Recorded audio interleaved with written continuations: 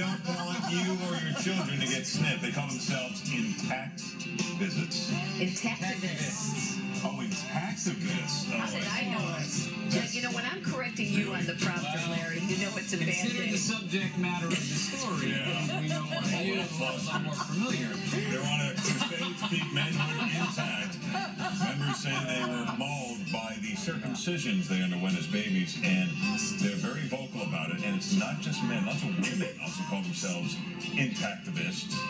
And they're always uh, looking for more people to join their crusade. They have an anti-circumcision truck that travels around. Their website is ididnotconsent.org. What goes on in that truck?